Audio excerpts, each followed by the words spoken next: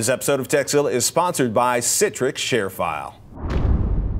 We got an email from Jesus. He wrote in and said, I have an old laptop that I love, the Dell Duo. I've replaced the memory with faster memory and also replaced the hard disk drive with a solid state drive, which improved the speed of the laptop immensely. My problem is that the laptop is limited to two gigabytes of memory and I'm running big photo files and would like to substitute the solid state drive for memory. Is there any way that I can add more memory using the solid state drive? Thanks from Jesus. Oh, but goodness. Oh, um, boy. Yeah, so this is a Dell Duo. It's basically a convertible, right? You, you get to flip the lid over and it goes Ooh. from being a tablet to a desktop. Um, Fun. Uh, yeah, it is. Here's the problem. Sometimes it's, it's time to start looking for a new machine. Um, your laptop is actually already using the solid state drive for memory as a swap or a page file. It's happening. It's happening. It's happening. Well, it's time. It's, well, it's time. It's kind of funny, right? Because we've been talking about, you know, we, we built like a $380 gaming PC, and it's going to be good for another couple of years uh, unless you want to go to a bigger than a 1080p monitor.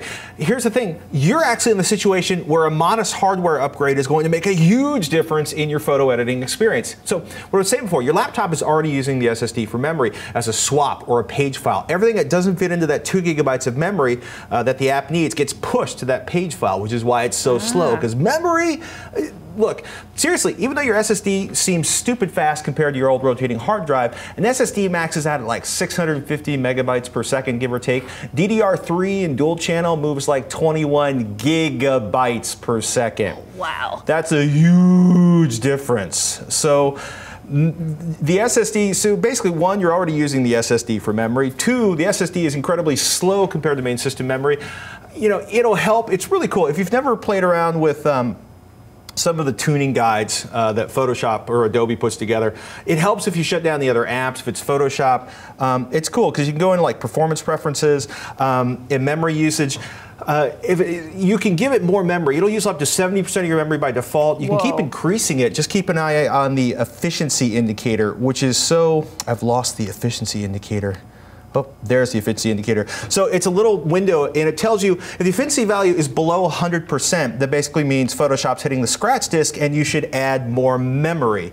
So um, you know, you can go into. Do you have your task manager up? I do. I'm yeah, I have it up right 10? now. You know, this is something else you can do if for your general. Like, should I add more memory to my machine? You can look at the task manager, and it gives you an idea of how much memory your system is typically using. Yep. So I'm just using about 3.3 of my eight gigs total. So yeah. I'm pretty good right now. And if that but was, of course, that's eight gigs. Yeah. But if it was hammered at the top of that, it'd be, it would be time to start looking at memory upgrade. Oh yeah. Um, and we should also point out it gets a little more complicated because if it's Photoshop and you want to use more than 1.7 gigabytes of RAM, you need the 64-bit version of Adobe Creative Suite, uh, which gives you a 3.2 gigabyte cap. And to go above that 3.2 gigabyte cap on memory, uh, which is 64-bit Adobe Creative Suite on top of a 32-bit operating system, you need the 64-bit Photoshop and a 64-bit OS and a hardware that supports a 64-bit memory architecture. And then you can have, you know, you can get all of the, the memory that it'll basically run as much memory as you can support. So all of the awesome. Yeah, Macintosh, Windows 64, but you basically need 64-bit Windows and a 64-bit processor to use lots and lots of memory. Um, Jesus, I think you've done all you can to speed up that machine. Um, I should also painfully point out that speeding, going to faster RAM almost never makes a noticeable increase in real world performance compared to a new processor or more system uh, memory, you know, to speed up photo editing, it's time to get a new machine. And I will say, if you're a big fan of the Dell and the convertibles, um, the two-in-one Ultrabook from Dell might be ah. the way for you to go, which has a similar flip top kind of environment there where it flips the screen around. So I'm just saying, or you could spend like $500 on a desktop and get performance that'll smoke your machine, go to a discrete GPU that'll actually accelerate Photoshop if you're a Photoshop user. If you're not a Photoshop user, find out what will accelerate your Photoshop editing application. But sometimes you have to upgrade. Yeah, you do. And a two gigabyte cap on memory. You have done glorious things with that machine.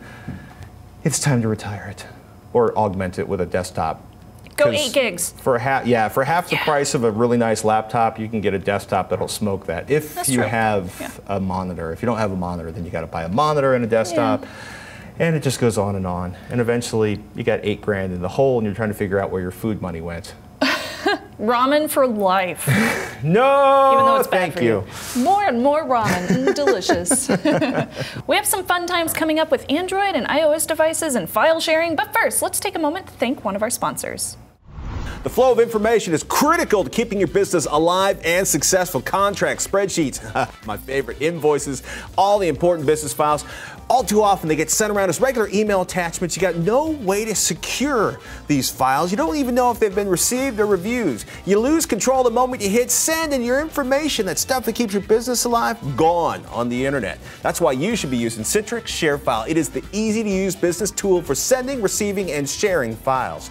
With ShareFile, your attachments are sent as secure links. You send files of almost any size without bounce backs. It's always under your control. You decide who has access to your files and for how long. You get notifications to let you know who opened your files and when, and you can password protect your files to really get your security optimized. You get to easily share files and collaborate with others without worrying that PDF's getting sent all over the planet. And ShareFile's even got mobile apps that let you access your files anywhere, anytime you've got an internet connection. Do me a favor, check out Citrix ShareFile. I got a 30-day free trial for you, no obligation. Go to sharefile.com, click the microphone at the top of the homepage, and enter in Tekzilla. Remember, sharefile.com, type in Tekzilla, support the show, clean up your business. It's a good thing.